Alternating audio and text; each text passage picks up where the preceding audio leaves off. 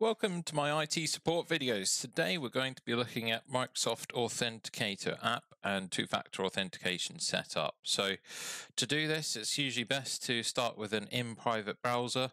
And to get there, you can either right-click your Edge icon and click New in Private Window. It's the same usually in Google Chrome, or if you've already got the browser open, the best shortcut is Control Shift and the letter N. That'll open a new browser tab in private. So uh, the best site to go to next is portal.office.com. And then you want to sign in with your work email address. Followed by your usual work password. And then this is when it says, yep, more information required. So that means you have got to set up your two-factor authentication and you just hit next. And it will take a second to load, then it will go and tell you to go and get the Microsoft Authenticator app. It's usually the best one for getting notifications on your device.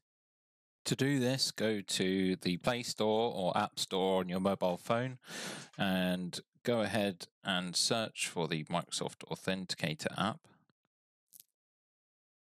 Scroll down, it's the one with the blue icon, and I've already got it installed, so we'll just go ahead and open that. You may need to download it. And you'll hit next. Then, if you get a prompt on your phone to allow notifications, I would suggest doing that so that you can just accept a prompt and type in a, a number on your phone very quickly to log in. Hit next on that one, and you want to add an account, then you need to press the plus button at the top, press on work or school account, and then press on scan a QR code.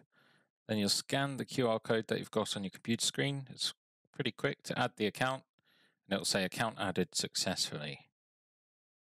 Then you click on next. Here's the notification on the phone. You put in the numbers and hit yes, and it approves. And that's it for the authentication test and then that's been approved. So the test worked there. That's how it will usually work. Now it says it's successfully registered, and at this stage it may ask you for an app password name that tells you to go ahead and make one. Uh, for example, mine's just this here, and then it tells you to take note of the password on, on that next page. Um, you can do that. It's not essential for logging into the main uh, Office 365 system, and if you have any issues, we can help as the IT admins um, on the system. So uh, that's all good there, and we can click done. And then you can say yes or no to staying signed in, and then you should hit the main uh, Office 365 site after that. So that's it for setting up two-factor authentication, and you'll occasionally get it when you're logging in, uh, perhaps in the morning at the start of your day, um, or you may ask it to remember you on the device, and it will only ask you uh, a few times in a month, let's say. If you need any more information or uh, you want to give me any further suggestions for more videos, please feel free to leave a comment below and then like and subscribe. Uh, you'll catch up on any of my hints, tips, and tricks on Windows support and IT issues that you may come across. Thanks for watching, and we'll see you in the next video.